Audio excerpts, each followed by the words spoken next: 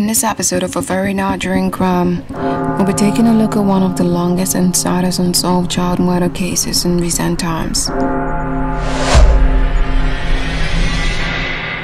The gruesome act happened as far back as 2001 when it involved a young Nigerian boy. The and underground problem of child trafficking. The boy whose body was found in the Thames. When the headless torso of a young black boy was pulled from the River Thames, the discovery of the torso of a young African boy floating in the River Thames in London led to suspicions the boy, Adam as the police called him. but it's the last thing you think you're ever going to see in the River Thames. It's, um, it was so shocking.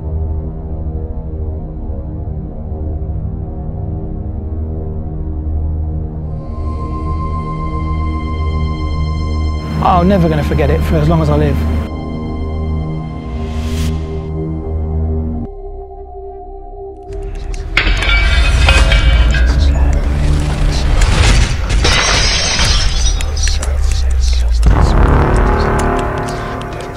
If you like this channel, you can support us by becoming a member. We would love that. You can also support us by sharing, liking, commenting, and subscribing if you haven't done so. Thank you.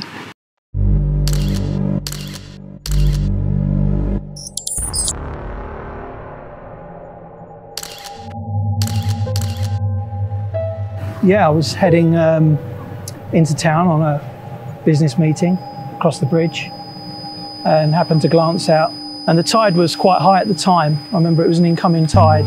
And I thought it was a tailor's mannequin because I could see the indentation on the top, which was a belly button. The furthest thing from eye is that, is that it's a body. On the 21st of September in 2001, Aiden Minter was on his way to a business meeting, walking through the Tower Bridge in central London. It seemed like it was going to be just another regular day, but little did he know that it wasn't, as his eyes caught a glimpse of what he initially assumed was a tailor's mannequin floating in the river.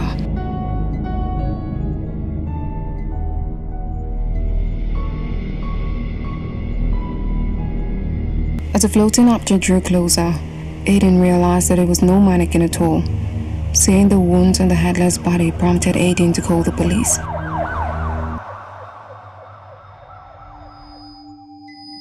The body was that of a child, a boy, who was of African origin. From careful observation, the police suspected that the body may have been in the river for as long as 10 days. The only piece of clothing the boy had on was a pair of orange shorts, and this served as a false lead. The label on the shorts read, Kids and Company.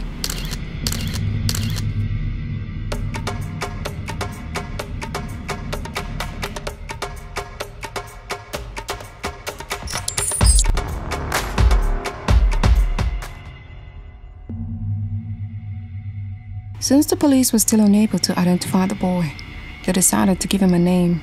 They called him Adam. Was recovered from the River Thames. Now, we've not identified the child, and consequently, we've taken the unprecedented step of giving him a name. It's Adam. And I took a step further by offering a £50,000 reward for anyone who could provide vital information that could lead to an arrest. They carried out further tests on the body, which showed that Adam would have been between the ages of 4 and 7 years old. The test also showed that he had been living in Africa not too long before he was murdered. Autopsy traces found cough syrup in his body, and this prompted some other questions. Was Adam ill? And if so, did his killer care enough to give him the medicine? The way Adam was dismembered caused experts to develop an opinion that his murder was of the ritualistic kind. Initially, they suggested that there was a mortuary ritual killing, which had its roots in southern Africa. Well, the police uh, initially brought in forensic, uh, a forensic pathologist from South Africa who tried to, to, to, look at the body and said perhaps there was something ritualistic about the death. Uh, the police then seemed to get into a bit of a dead end with it. Didn't really know where they were going because they had no identity for the boy. They, they really didn't know actually what kind of ritual killing it was. And uh, they had nothing to go on actually. And it is an extraordinary fact that one more tide and the torso would have been washed away out to sea, and uh, nobody would have ever known any more about this.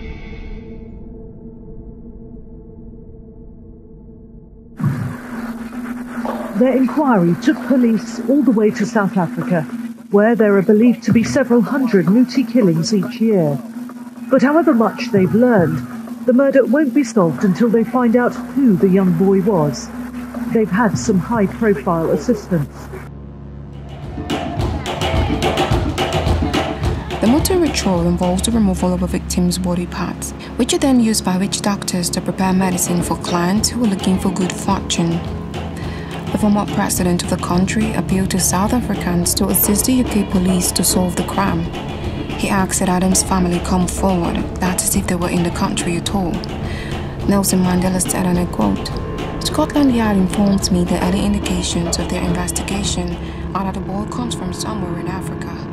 So if anywhere, if anywhere, even in the remotest village of our continent, there is a family missing a son of that age, please contact the police in London. Unfortunately, his efforts bore no fruit, as no substantial information was brought forward regarding the case. It was soon established that the mutilation of the body was inconsistent with the muti ritual rites after all. Further consultations steered investigation in another direction, to the West African region of the continent.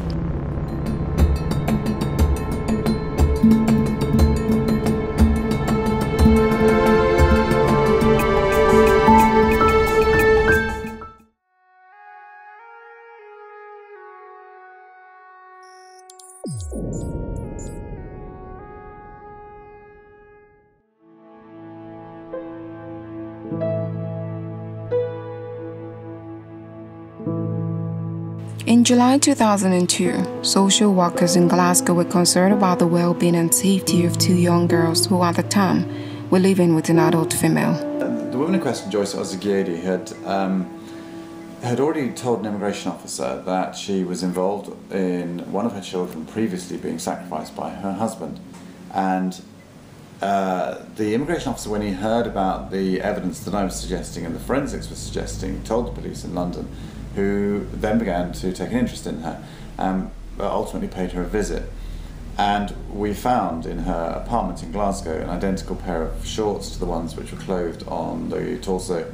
Uh, Adam, very rare, unusual shorts that were, uh, we know, were bought in from a Woolworths chain in Germany. And so the evidence trail began suddenly mm. to build up, and we, we began to build quite a big picture about uh, this woman, Joyce, and the fact that she had her, indeed had Adam in her care and had brought him into the country. The woman named Joyce Osagiede was a Nigerian who was somewhere around her early 30s. At the time the social care workers visited her home, they found what could be described as ritualistic objects. Joyce rambled on about the need for a sacrifice, and this made the social workers afraid for the girls' safety. In an attempt to save the girls, a court hearing was held in 2002 where Joyce told several weird stories about killings, sacrifices, and secret cults. Joyce's stories prompted the Glasgow police to reach out to the homicide unit in London because of the glaring similarities which it had with the Adam case. Detective Nick Coleman flew over to Glasgow to question Joyce and search her home, and to his greatest surprise, he found clothes that had the same Kids and Company label found on Adam's shirt at the time his body was discovered. Joyce was arrested as the police were convinced that she was directly or indirectly involved with Adam's murder.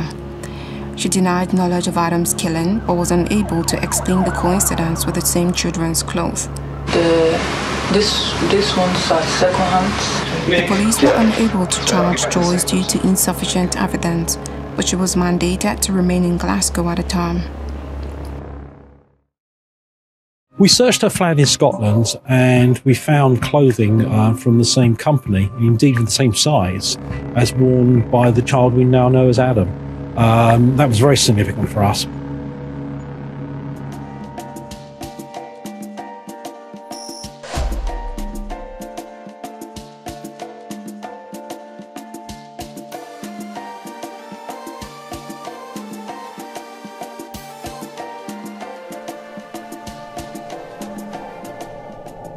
A whole year passed after Adam's murder, and a memorial service was held in London City Hall. In attendance were the police officers, pathologists, scientists, and other experts that were involved in the case.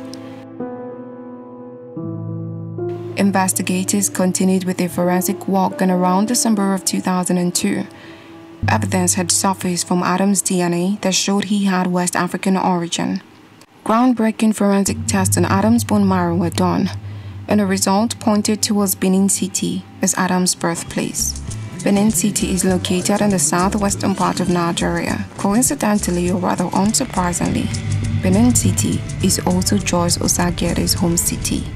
Another interesting discovery in the case was the pollen samples found in Adam's gut. They showed that Adam had only been living in the southeast of England for a few days before his murder. To add to that, there was another substance found in his stomach, which looked like it was made from African river clay. Tests showed that the substance included grounded bones, vegetables, and quartz. Also, the presence of ash suggested that the mixture had been burned before Adam was forced to eat it.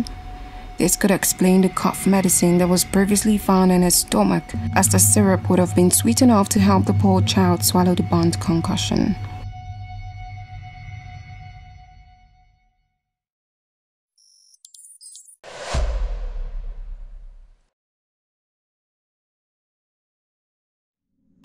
November of 2002, Joyce Osagiede was deported back to Nigeria. Detective Nico Como, in the company of his boss, Will O'Reilly, escorted her back aboard a private plane. They both hoped Joyce would confess before they landed, but she didn't. The officers didn't get off the plane when they arrived in Lagos, Nigeria. Joyce was dropped off and investigation slowed, with no new leads or breaks in the case. When the UK police arrested Joyce, they found just two contacts on her phone. One of the contacts was a man named Musa Kamara, who was later traced to a house in London. While searching Musa's house, the police discovered an animal's skull which had been pierced with a nail. They also discovered some liquid potions, as well as small packs containing what looked like sand and ash. Among the other strange items found in Musa's home was a videotape with the label Rituals. On the tape, there was a video of an adult male being decapitated. Detectives also found out that Musa's real name was Kingsley Ojo, but with no evidence linking him to Adam's murder, Musa was released on bail and allowed to leave. Nonetheless, the police had strong evidence that Musa or Kingsley had involvement with human trafficking. For this reason, he was put under surveillance as soon as he was released. In July of 2003, after months of surveillance, 21 of Musa's associates who lived in different parts of London were arrested, including Musa himself.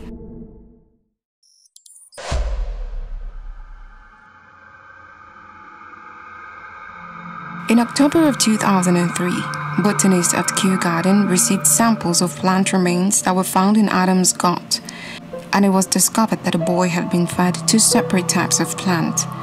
The first was the calabar bean, also known as the doomsday plant. The dosage of a doomsday plant found in Adam's body was more than enough to cause a paralysis, but not nearly enough to prevent pain. The second plant found in the stomach was the datura plant, which is known to cause hallucinations. Detectives suggest that Adam was given the plant shortly before his throat was cut open which means that the child could have possibly died a long and painful death. Musa Kamara. The police had more than enough evidence to charge Musa Kamara for human trafficking, although they still didn't have enough evidence to charge him in connection with Adam's case. In July of 2004, he pleaded guilty to the charges leveled against him and received a four-year jail sentence as punishment for his crime. It was learned that while Musa was in jail, he lived like a king and continued to perform juju ceremonies for other inmates. After spending about a year in jail, Musa reached out to the UK police and offered to help. He claimed that he had secret recordings of Joyce Osagiede, but that too was a dead end. According to him, he wanted to help track down Adam's killer and clear his own name. He was interviewed by the police after he had served his four year term, and he continued providing information to them regarding human trafficking rings. Musa even accused another lady of being responsible for Adam's murder, But after being put under surveillance for months, the police could find nothing that implicated her.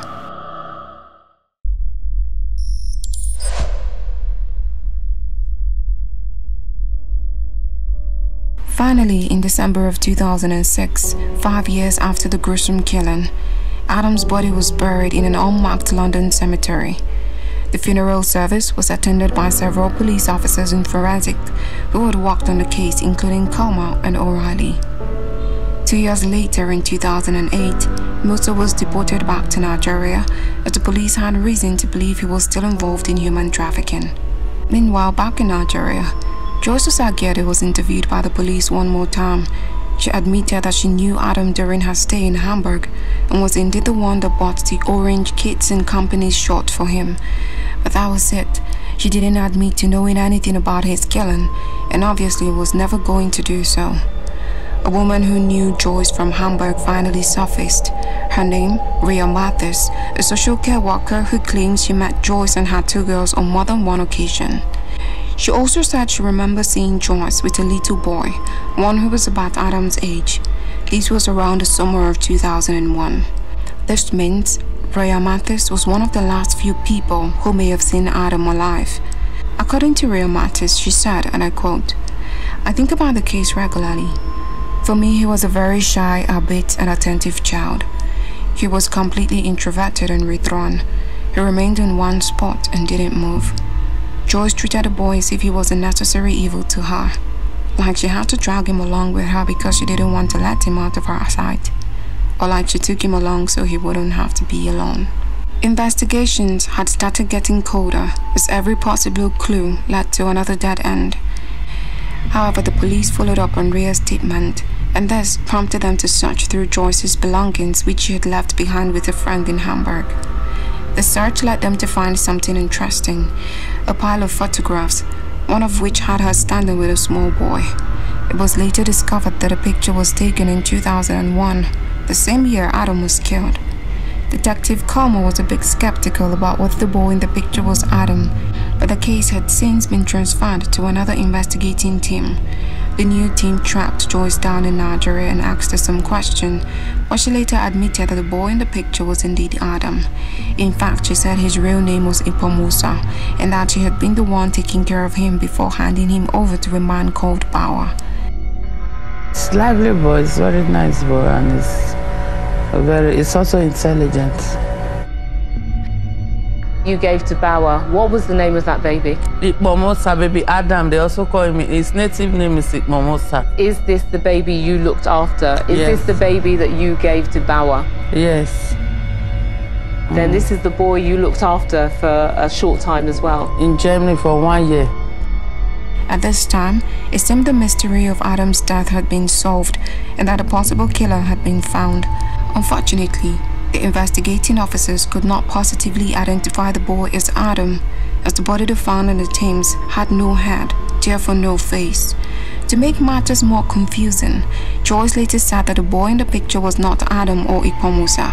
She said that the boy's name was Danny, who officers actually traced down to a location in Hamburg. In that song, the first song, yes. No. She now says that was all a misunderstanding. The pictures of a child called Danny, the son of a friend in Germany. Daniel, the baby Daniel. This is Danny, Joyce's friend's son. that's the picture. Yes. Do you know who that is? Yes. Who? That's me. well, well, we're pleased to see that you're you're you're fine and well. What does it make you you feel? A little bit surprising, but you see me, I'm okay. An interview with some of the neighbors in Joyce's home actually revealed that Joyce had a long history of mental instability, hence the differing story. One mock picture was shown to Joyce and she instantly recognized the man in it as Bauer, the man she claimed she handed Adam over to in Hamburg. Interestingly, the man in the picture was Musa Kamara, also known as Kingsley Ojo, who had been arrested and deported back to Nigeria by the UK authorities. Upon hearing this, Musa was traced to Nigeria by a team of BBC reporters. He didn't agree to meet face to face, but said he could speak over the phone. All the same, he remained steadfast that he had nothing to do with Adam's death. And in all truth, there is no evidence to directly connect him to the boy's murder. Even though the UK police still believe that he is the remaining piece of the puzzle. Adam's murder was declared a cold case in 2013, and it became even colder when Joy's brother Victor told the investigating BBC reporters that Joyce had died. Joyce was one of the very few witnesses and suspects in the case, and with her gone, it seemed we may never know for sure who Adam's killers are. Aiden Minter, the man who first discovered Adam's floating body. Sadly, he was diagnosed with acute post-traumatic stress disorder. This could be due to what he had witnessed in the form of Adam's lifeless body. He said, and I quote, It's the shock of why is it there? Who did it? That's the hardest thing. He was a small boy with a personality, and it was cruelly taken away from him in some sort of ritualistic murder. Unquote. Nick Chalmers of the UK police, who is now retired, expressed how frustrating the lack of answers had become. He said, and I quote, This was an innocent child. There were people responsible for his death who haven't been brought to justice. 20 years on, I wish we knew the identity of Adam and his parents. In reality, he is a missing child from a family who probably don't know he's buried here in London. Unquote. While the exact number of people trafficked can't be known, as some cases go unreported, according to NAPTIP, 1,173 persons were trafficked in 2018 alone. Estimates released by the Global Slavery Index in July of 2018 indicated there are 40.3 million victims of modern slavery worldwide. The human trafficking trade is a $150 billion global industry. Nigeria remains a source for transit and destination for this sort of business. So be aware of friends and relatives that offer to give a better life to your child or ward abroad. The horrors that kids go through sometimes are simply unimaginable. Be careful and be aware. Thanks for watching this video. Kindly share your thoughts in the comment section below. And don't forget to support us. You can do so and hit the notification bell, like, share, and subscribe to our channel. Remember, stay safe and remain blessed. Thank you.